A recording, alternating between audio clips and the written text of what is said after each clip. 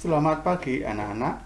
Selamat berjumpa kembali dalam pembelajaran tematik hari ini. Pembelajaran hari ini adalah pembelajaran subtema 1 pembelajaran 5 yaitu IPA dan SBDP. Anak-anak, untuk pembelajaran IPA kita akan belajar tentang komponen listrik.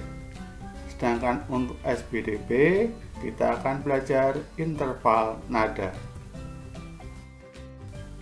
Tujuan pembelajaran IPA 1. Melalui percobaan dan pengamatan, siswa dapat menjelaskan fungsi komponen-komponen listrik dalam rangkaian seri dan paralel. 2. Melalui penugasan, siswa dapat mempresentasikan fungsi komponen-komponen listrik dalam rangkaian seri dan paralel. Tujuan pembelajaran SBDP 1. Melalui penjelasan guru, siswa dapat menjelaskan pengertian interval nada dan namanya. 2. Melalui latihan menyanyi dan pianika, siswa dapat membandingkan interval nada lewat lagu dan musik. pendidikan karakter yang kita kembangkan. Bijaksana, tidak memaksakan kehendak kepada orang lain. Demokrasi, menghargai pendapat orang lain. Anak-anak, mari kita amati gambar di bawah ini. Gambar ini merupakan suasana rumah dengan penyinaran lampu-lampu listrik.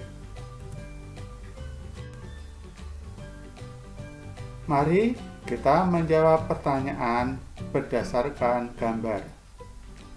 Mengapa rumah pada gambar terlihat terang? Jawabannya karena ada penerangan listrik. Apakah banyaknya lampu listrik yang digunakan dipengaruhi oleh besarnya rumah? Jawabannya benar. Banyaknya lampu dipengaruhi oleh besarnya rumah. Apa yang terjadi jika rumah pada gambar hanya diterangi oleh satu lampu? Jawabannya, ruangan-ruangan akan terlihat gelap. Menurut kalian, alat-alat atau komponen apa saja yang diperlukan sehingga lampu dapat menyala? Jawabannya ada stop kontak, bola lampu, kabel, dan aliran listrik. Anak-anak, dalam setiap sumber listrik terdapat kutub positif dan kutub negatif.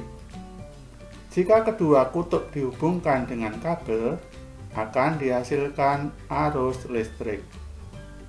Arus listrik adalah aliran muatan listrik pada rangkaian tertutup yang mengalir dari tempat yang berpotensial tinggi ke tempat yang berpotensial rendah. Tempat yang berpotensial tinggi disebut kutub positif dan tempat berpotensial rendah disebut kutub negatif. Perbedaan potensial antara kutub negatif dan kutub positif disebut tegangan listrik atau potensial listrik. Arus listrik dinamis ada dua macam, yaitu arus DC yaitu arus listrik yang mengalir searah. Contohnya, arus listrik pada baterai dan arus AC, yaitu arus listrik yang mengalir bolak-balik. Contohnya, arus listrik pada perusahaan listrik negara. Konduktor listrik adalah benda-benda yang dapat menghantarkan listrik, misalnya paku, penggaris besi, uang logam, dan lain-lain. Isolator listrik adalah benda-benda yang tidak dapat menghantarkan listrik, misalnya plastik, penghapus, sumpit, dan lain-lain.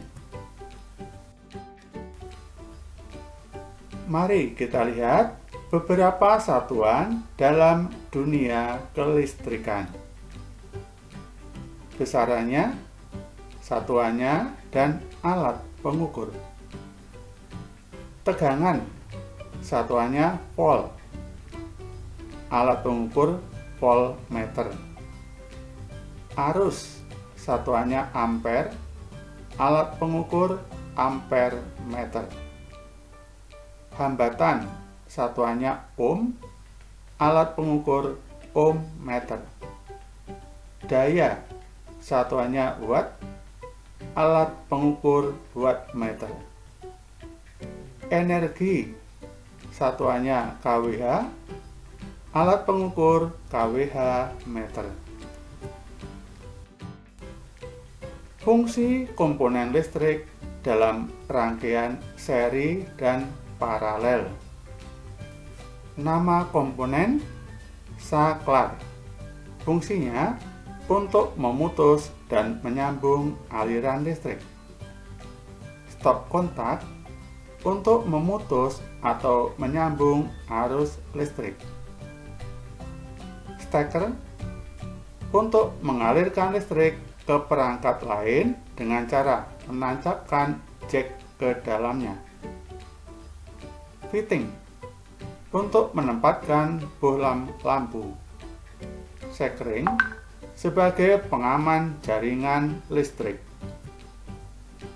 Kabel listrik sebagai penghantar arus listrik. Baterai sebagai salah satu sumber energi listrik. Lampu untuk memancarkan sinar terang. Anak-anak, marilah kita bersama-sama menyanyikan lagu.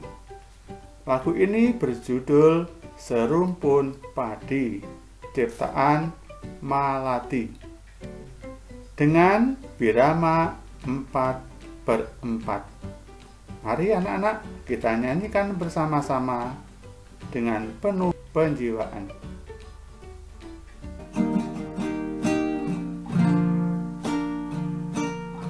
Anak-anak,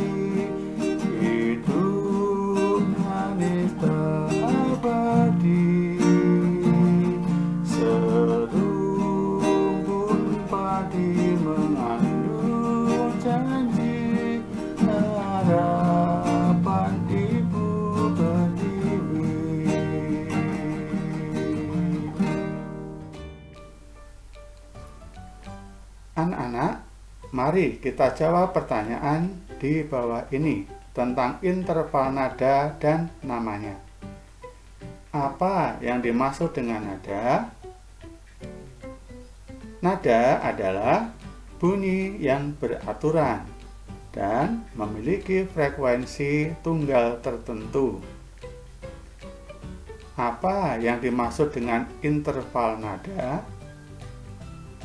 Interval nada adalah sebuah jarak antara nada satu ke nada lainnya, baik jarak nada ke atas atau jarak nada ke bawah.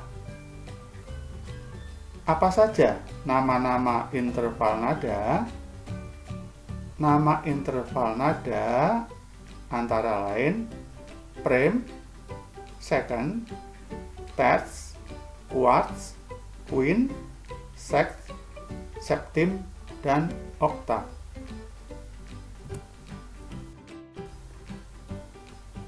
Anak-anak, marilah kita refleksi. Apakah kalian sudah memahami fungsi dari komponen listrik? Apakah kalian sudah bisa membaca not angka dengan tepat? Bagaimana perasaanmu setelah mengikuti pembelajaran hari ini?